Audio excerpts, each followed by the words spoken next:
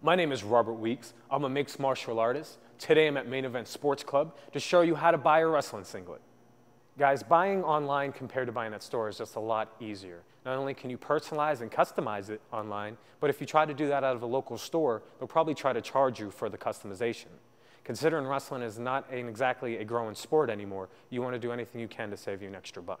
When looking for a singlet, one has to make sure you give yourself the proper room meaning you want to know what you're going to weigh is, what your weight class is for the whole year, and also you're going to want to know what you're comfortable in. You don't want anything cutting off circulation uh, to any certain part of your body. The same way you would pick out boxer shorts is the same way you would pick out a wrestling singlet. You would want to find out if you're a small, medium, or large, and then accordingly pick out the right size for you.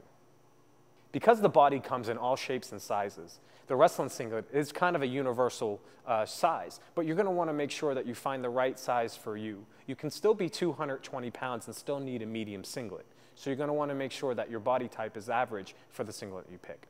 And that's been how to buy a wrestling singlet. See you guys next time.